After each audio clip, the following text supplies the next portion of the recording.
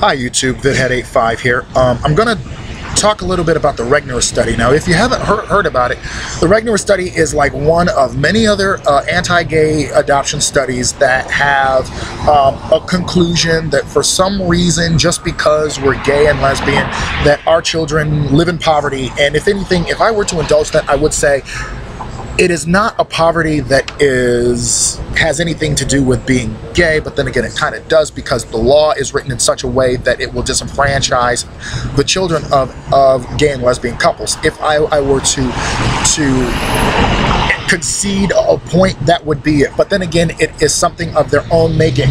When when they have legislators and they go ahead and say, well, we will stop any kind of relationship recognition and therefore put a tax penalty, a gay tax, on those who do not want to live the way that we believe they should, then that's basically what ends up happening is that inequity there that that that um, that creates that very thing that you are only confirming with your study, which is what I say is the Republican solution. Find something broken, break it even more, and then complain when you've broken with when what you've broken is actually broken. Is that a surprise?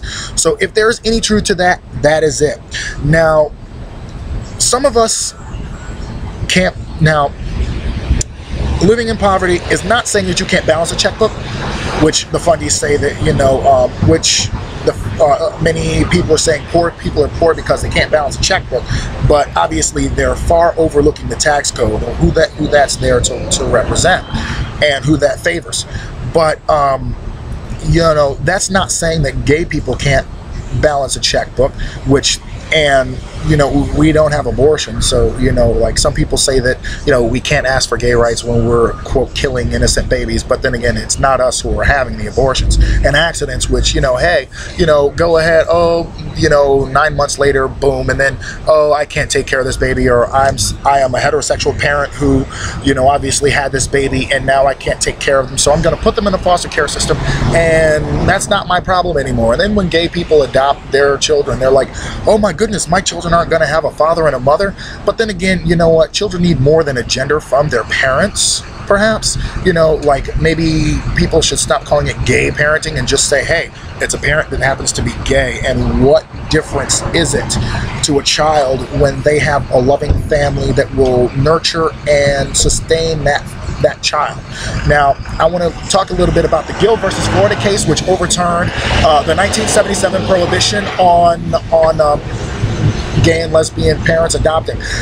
The Gill case was uh, was brought in court in a state court, and there were two boys who they could not adopt, and they were they were black boys. Now most of the time minority children languish in foster care after a certain age because they're considered what's called unadoptable and then they age out of the system with hardly any skills. Um, they hardly any any real plan for a future. We, we definitely need to reform that too. Now Gill, Gill and their partner as far as these kids were concerned they were their parents. Now some people may say you know what? I look at that case and I agree that gay parents can be good parents.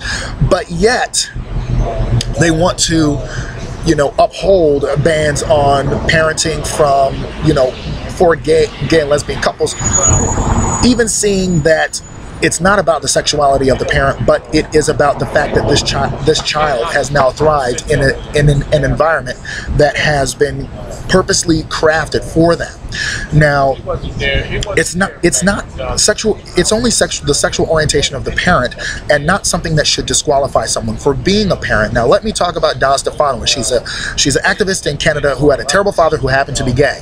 And gay parents, again, like I said, they're simply parents who happen to be gay. She had a bad father and claimed that he was a bad father because he was gay. Yet when we point to the horrors of terrible straight parents, it is as if they tell us that even if in an abusive household, as long as they have a married mother and father, they're better off. And even Rick Santorum, a presidential candidate, by the way, told us that it would be better for a, them to have a father in jail than to have two mothers. Now, I find this inexcusable because that's not only a slur on those, on you know, gay and lesbian parents, but the many single parents as well as adopted children. Now, I remember um, there was a a small little blurb on the internet, and it was not about. It was about gay parenting and whatever, and it was supposedly from um, Judith Stacey and this Biblarz guy, who Judith Stacey is pro um, LGBT adoption, and yet they twisted it to say that they're going to wonder about their father, and the problem is, no matter what, an adopted child who normally same-sex parents usually adopt, or gay, gay and lesbian parents usually adopt,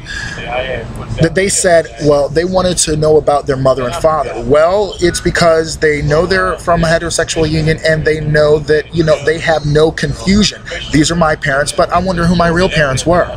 Um, that's not, not to, to say that they don't understand who their parents are as far as they're concerned, but they wonder about them because it's natural to do so. Also, they were saying that um, that they're more likely to experiment with same-sex relationships and a pastor's child is not and anybody who has who may think about it may not have that longing or may not have that curiosity everybody has that curiosity i was born under straight parents of course because i wouldn't be here and i know people who experimented and they were like well i'm not gay what about that old college I was drunk excuse too? So obviously they don't they don't talk about that.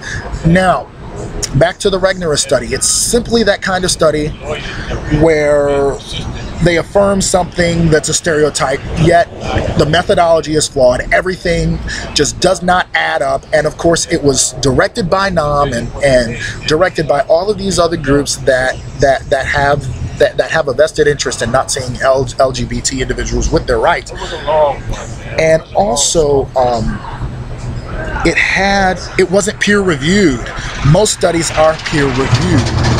And also with that, I want to talk about Al Franken busting someone who um, who claimed who wrote a study and then he checked out the study that it was based on, only to find out that they mis deliberately misrepresented research. And Peter Spriggs of the Family Re or American Family Association said they shouldn't have a right to tell me that I misused their research.